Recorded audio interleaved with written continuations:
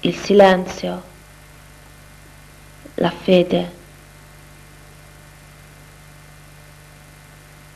una speranza affogata nel buio, un piatto offerto da rifiutare in astattico banchetto, acqua stagnante, acqua nel marmo contenuta, dal sapore alieno, impercettibile oltre le questioni del gusto.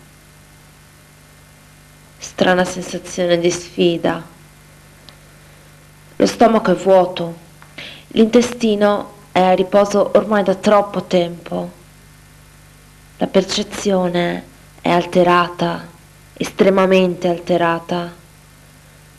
Io non so se quello che i miei organi di senso ricevono è ciò che io identifico come questo.